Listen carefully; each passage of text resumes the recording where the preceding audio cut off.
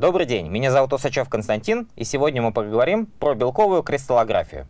В начале 20 века было совершено целый ряд различных открытий, которые э, сделало настоящую революцию в области науки э, и понимания картины мира. И одним из таких ярчайших открытий было обнаружение нового вида излучения э, рентгеном, который получил название рентгеновское излучение. И если мы посмотрим на диапазон длин волн, то данное излучение находится между видимым светом и гамма-лучами. Оно характеризовалось своей способностью проходить сквозь твердые тела и задерживаться в некоторых из э, веществ. Далее э, данное излучение использовалось Максом фон Лауэ для того, чтобы впервые пронаблюдать явление дифракции рентгеновского излучения на кристаллической решетке. Э, и таким образом сформировался метод, который получил название рентгеноструктурный анализ. Это один из дифракционных методов, который э, позволяет изучать структуру вещества, и в основе данного метода лежит явление дифракции рентгеновских лучей на трехмерной кристаллической решетке. Э, математическое обоснование данному явлению дали позже Вульф и Брек. И как метод рентгеноструктурный анализ был уже позже разработан Дебаем и Шерером. А, поговорим сначала о самом понятии кристалла. А, кристалл с греческого переводится как первоначально переводилось как лед, в дальнейшем получило э, также э, значение как горный хрусталь, либо кристалл. Это твердые тела, в которых частицы, атомы и молекулы располагаются закономерно и образуют, образуют трехмерную периодическую пространственную укладку, так называемую кристаллическую решетку. И на данном слайде приведены различные э, фотографии кристаллов, которые можно встретить в, в жизни. А, для того, чтобы нам описать характерные кристаллы, необходимо ввести некие параметры для того, чтобы, оперируя ими, мы могли э, интерпретировать ту или иную систему. И в качестве таких параметров используется длина ребер для элементарной ячейки и значение углов между данными ребрами. Элементарная ячейка — это тот объем, повторяя который мы можем э, воспроизвести конечную трехмерную структуру самого кристалла. И, соответственно, э, изменяя Э, перебирая данные параметры, длинный ребер и значение углов, мы можем получать несколько типов кристаллической решетки. Здесь вот показаны э, примеры таких типов, э, которые э, можно разбить на группы, которые называются сингониями. Э, для того, чтобы воспроизвести трехмерную структуру кристалла, необходимо проводить операции симметрии с элементарной ячейкой с тем, чтобы повторяя ее, воспроизвести трехмер, э, конечную трехмерную структуру. И существует несколько таких типов операций симметрии. Это может быть самый простой э, перенос элементарной ячейки, да, либо трансляция. Э, это могут быть элементы э, поворота вокруг оси, Э, это могут быть э, отражения в центре симметрии, э, винтовые переносы, отражения в плоскости симметрии. Но так или, или иначе мы можем применять эти операции симметрии с тем, чтобы объяснить трехмерную структуру исследуемого кристалла. И далее, поскольку длины волн рентгеновского излучения лежат в диапазоне от одной сотой до, э, десятки, до, до 10 ангстрем, то эти расстояния сопоставимы с расстояниями между атомами внутри кристаллической решетки. И таким образом кристаллическая решетка может выступать в качестве дифракционной решетки для данного вида излучения. И э, мы можем наблюдать явление дифракции рентгеновских лучей на таких решетках.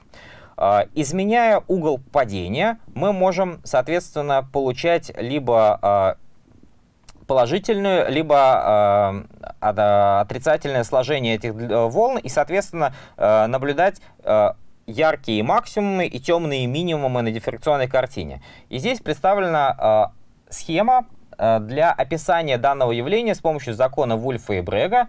Да, э, мы видим две плоскости, на которых происходит отражение рентген... падающего рентгеновского излучения под неким углом тета.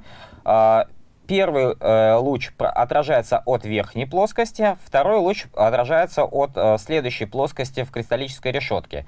И э, если мы будем э, проанализируем эту систему с помощью э, геометрических параметров, то мы можем записать следующее уравнение, что э, 2d, где d это расстояние между плоскостями, умноженное на синус θ, где θ это угол падения э, излучения, будет равняться n лямбда, где n это порядок отражения, целое число, которое будет нам показывать, сколько длин волн укладывается в разности хода лучей, отраженных от соседними плоскостями, а лямбда это длины э, волны падающего излучения.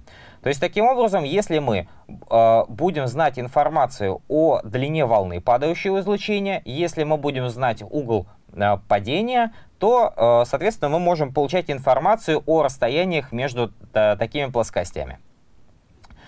Далее здесь представлена схема простейшего рентгеновского эксперимента. Необходимо иметь источник рентгеновского излучения, который будет создавать яркий пучок данного типа излучения, который затем будет попадать на кристалл, который в свою очередь будет выступать дифракционной решеткой. На кристалле будет происходить процесс рассеяния рентгеновских, излуч... рентгеновских лучей и если мы поставим э, экран, либо детектор, который могут, может регистрировать данный вид излучения, то мы увидим дифракционную картину, которая э, представлена в виде ярких э, точек, э, либо их называют также рефлексами. И э, зная интенсивность данных рефлексов, зная угол э, падения рентгеновского излучения, мы можем э, рассчитать структуру исследуемого, структуру элементарной ячейки исследуемого кристалла. И в жизни мы довольно часто сталкиваемся с различными формами кристаллов. Это кристаллы воды, э, различные кристаллы э, солей. Но когда мы говорим про биологические системы, то это не совсем э, понятно, да, как можно получить кристаллы белка, либо кристаллы э, ДНК. Э, для этого необходимо выполнить целый ряд операций, и э, на который накладывается э, целый ряд требований. В первую очередь нам необходимо получить максимально гомогенный э, раствор данного соединения и э, максимально очищенный, то есть у нас должно быть как можно меньше различных примесей, которые будут нам мешать для дальнейшей кристаллизации. И, соответственно, необходима довольно высокая концентрация биологических макромолекул, это порядка 10 мг на миллилитр. Но, тем не менее, данный метод работает э, для изучения таких структур, как белки, нуклеиновые кислоты, и э, как раз-таки с помощью метода рентгеноструктурного анализа было совершено целый ряд исторических открытий. Ну, самое известное, наверное, это открытие двойной, структуры двойной спирали ДНК, которое было сделано Уотсоном и Криком, как раз-таки э, основанное на данных рентгеноструктурного анализа, когда они впервые увидели э, на дифрактограмме э, фотографию в виде креста, да, и они поняли, что э, данный объект обладает симметрией, э, и согласно этим данным построили э, структуру э, двойной спирали, да, и предложили принцип э, хранения генетической информации.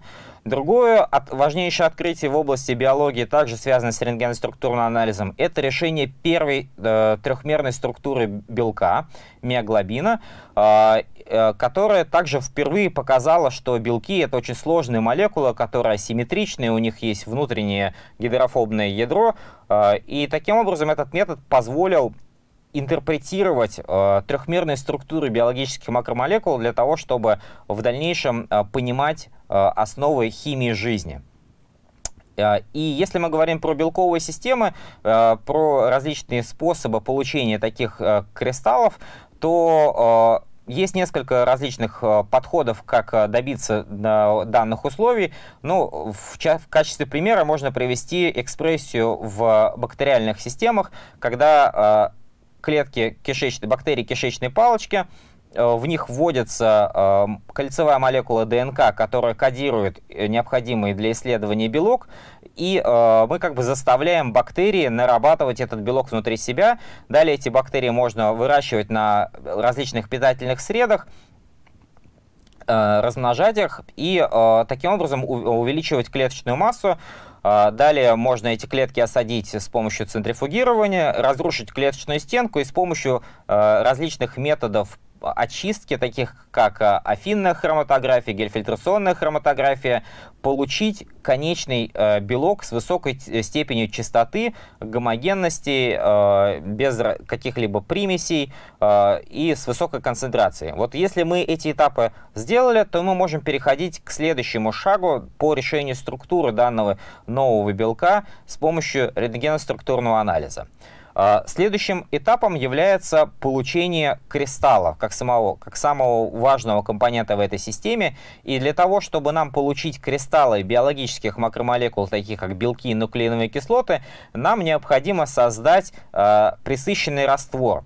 Для этого э, используют несколько различных методик. Ну, одна из самых распространенных это диффузия водяных паров, э, когда э, создается герметичный резервуар, на дно которого помещается раствор, содержащий различные а, осадители и соли. И над резервуаром, либо на покровном стеклышке, либо на специальном пьедестале размещается капля с данным противораствором и белком. И данная капля подвешивается над этим резервуаром с помощью э, герметизирования этой системы э, различными там, вазелиновыми составами, э, с тем, чтобы э, получить такую замкнутую систему, в которой капля будет медленно испаряться, то есть будет происходить диффузия водяных паров из капли в противораствор, и концентрация биомакромолекулы будет медленно повышаться. И в каких-то условиях может произойти так, что э, агрегация этих белков будет приводить к тому, что э, начнутся формироваться э, кристаллы данного соединения, то есть э, образец перейдет из э, жидкой формы в кристаллическую. Э, вот здесь показан пример такого явления. Мы наблюдаем за каплей в течение некоторого э, времени. Да, после того, как мы раскапали этот белок в различных условиях для кристаллизации в этих планшетах, их помещают в термостат, э, и потом с определенным э, интервалом анализируют э, капли данных белков в различных растворах. И э, может так случиться, что э, в какой-то момент времени вы увидите, что в, в этих каплях начнут появляться сначала маленькие э, зародыши кристаллов, которые будут все больше и больше увеличиваться в размерах и вырасти до конечных таких э, красивых монокристаллов с хорошей огранкой. Это происходит как раз-таки за счет того, что э, идет медленная агрегация, да, то есть присоединение одного белка к другому такому же белку в растворе за счет того, что мы медленно увеличиваем концентрацию. Э, и именно поэтому очень важно, чтобы э, у нас было как можно меньше примесей, поскольку примеси будут мешать формированию корректной э, трехмерной кристаллической решетки, состоящей из биомакромолекул. Однако, если вы получили структуры, э, точнее, если вы получили кристаллы таких биомакромолекул, то это еще не означает, что вы можете решить их структуру, поскольку э, зачастую может происходить кристаллизация не вашего целевого белка, а тех солей, которые входят в раствор для э, условий поиска для, по кристаллографии. А, для того, чтобы облегчить а, систему, исследов... Э, э, по систему поиска для исследователей, были разработаны специальные роботизированные станции, которые могут раскапывать в нанолитровых объемах э, различные условия для кристаллизации, смешивают их в автоматическом режиме с раствором белков, и далее планшет пластиковый с такими раскапанными каплями кристалла в различных условиях помещается в специальную термостатируемую систему, в которой происходит фотофиксация, то есть фотографируется каждая лунка, каждая капля в определенном интервале времени. И далее вы потом можете просто подключиться удаленно к компьютеру э, э, от этой роботизированной системы и э, на своем мониторе наблюдать за каплями, которые находятся в этом планшете с течением времени. То есть вы можете проверить там через 3 дня, через 4 дня, через неделю, через месяц и так далее. И искать те условия, в которых у вас возникнут кристаллы. А, однако, как я уже говорил, получение кристалла еще не означает, что это именно кристалл вашего исследуемого соединения. Зачастую может происходить э, кристаллизация различных солей, и для того, чтобы это проверить, мы можем использовать также различные методы и подходы, один из которых это введение специальных красителей, которые окрашивают только э, кристаллы с белковыми макромолекулами.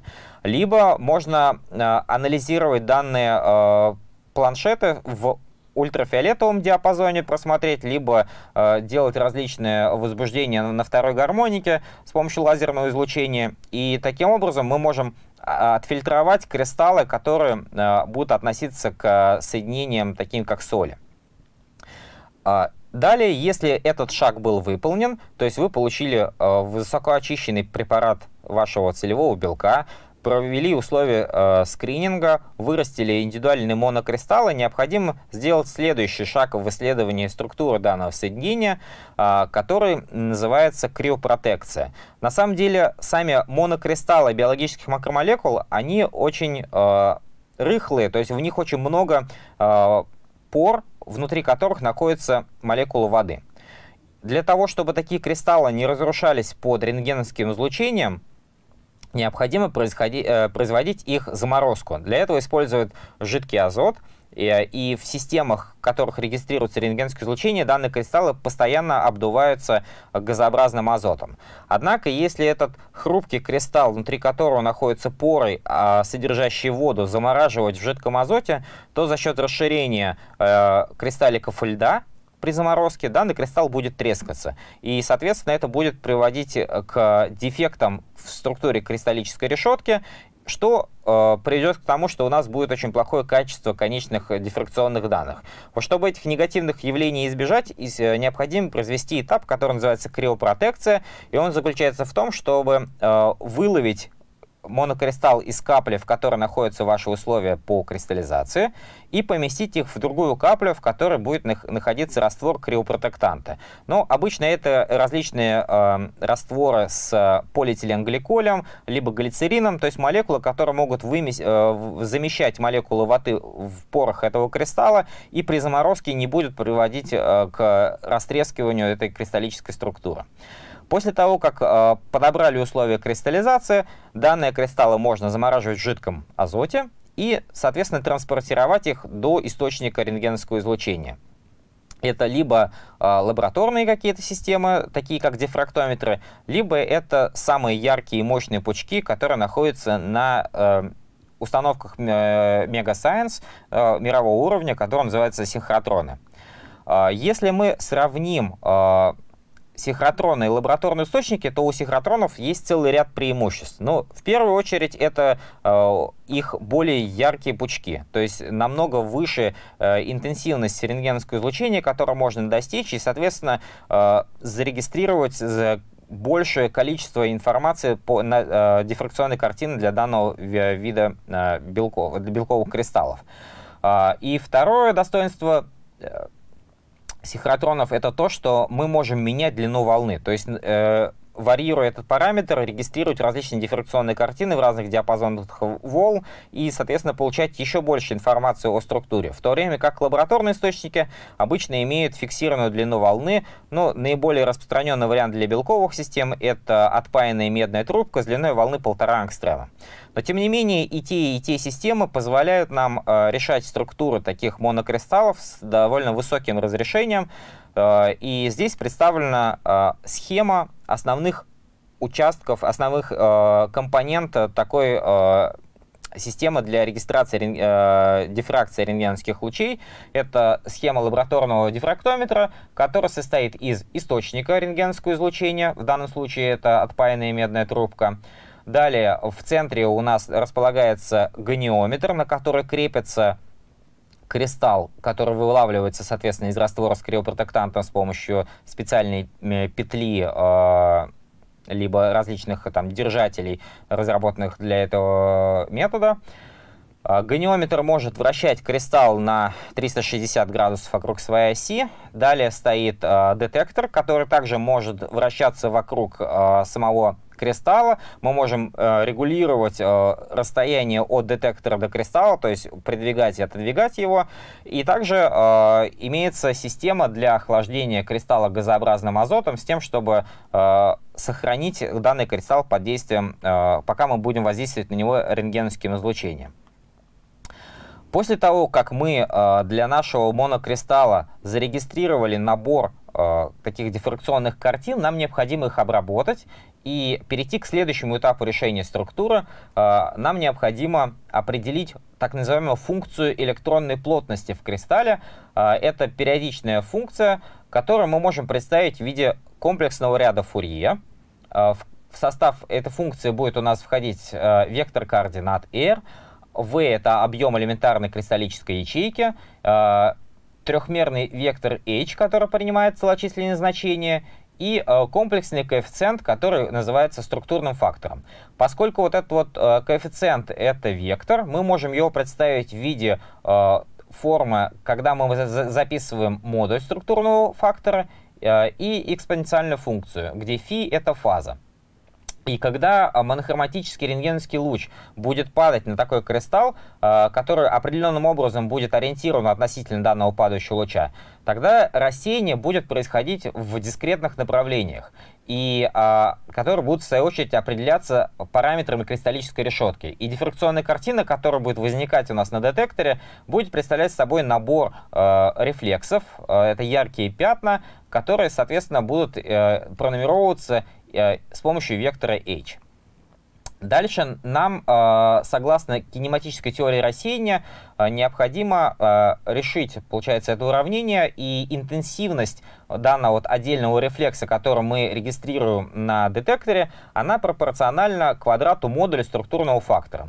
То есть, если мы будем измерять интенсивность рефлексов, то мы можем получить значение модулей структурных факторов для того, чтобы определить искомую функцию распределения электронной плотности. Но проблема э, этого метода заключается в том, что нам не достает экспериментальной информации для того, чтобы э, полностью из эксперимента определить все параметры. В частности, мы не можем получить информацию о значении фаз.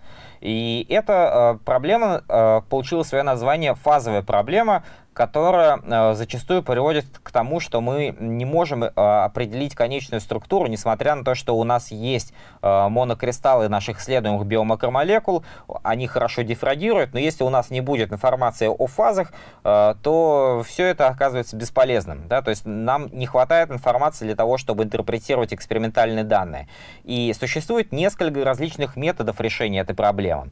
Один из таких методов — это введение в структуру кристалла специальных э, производных тяжелых металлов, которые могут связываться с а, молекулой белка в определенных местах, и не изменяя структуру э, данного целевого белка, э, мы можем увидеть э, разницу в дифракционных картинах такого вот производного с введенными тяжелыми, с замещенными тяжелыми изотопами и исходного белка. И на разности э, Э, данных дифракционных картин можем определить положение тяжелых атомов, из которых потом можем рассчитать э, значение фаз для всей остальной молекулы.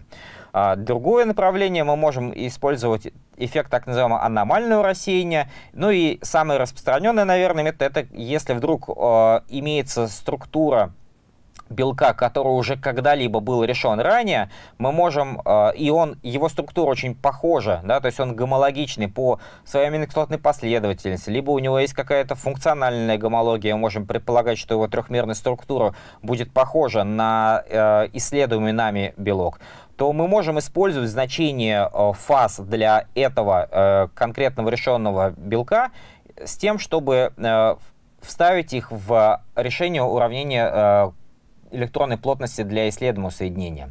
И потом произвести уточнение. Да? То есть, может быть, на первом этапе данное решение окажется верным, и мы сможем перейти к э, следующему этапу.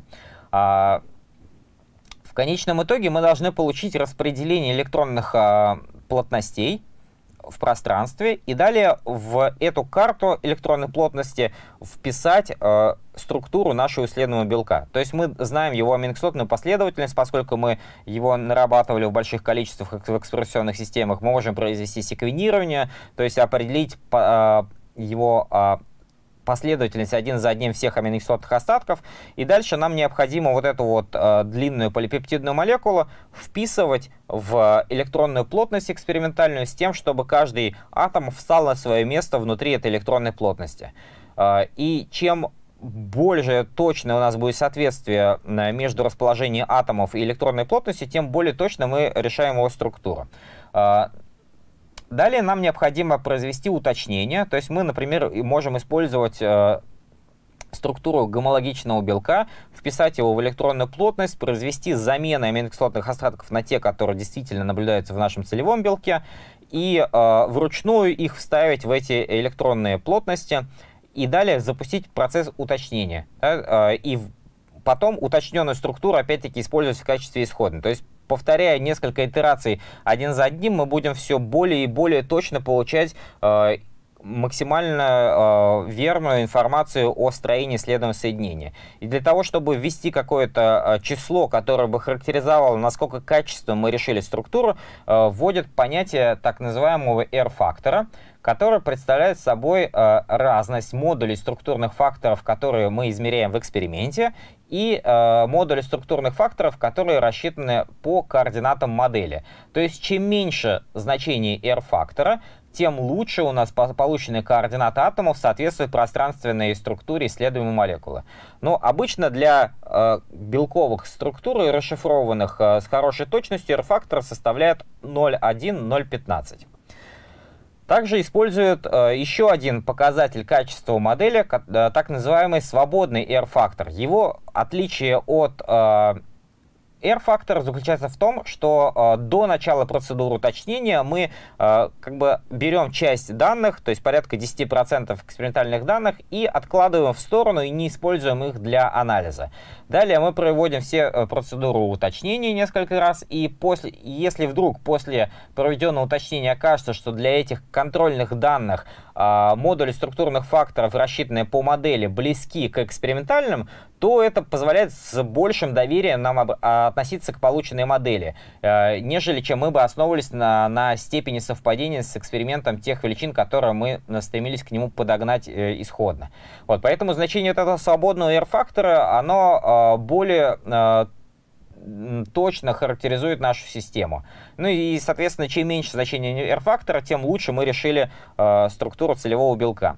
Э, здесь вот на слайде представлены различные, э, э, точнее, представлена структура одного и того же белка, решенная с разным разрешением, и мы видим, что чем выше значение разрешения, да, э, то тем более детально мы можем определять расположение отдельных атомов. То есть если на карте с разрешением 3 ангстрем мы можем хотя бы определить направление положения боковой цепи аминокислотного остатка, то в карте с разрешением 1 ангстрем мы уже видим э, расположение отдельных атомов в ароматическом кольце.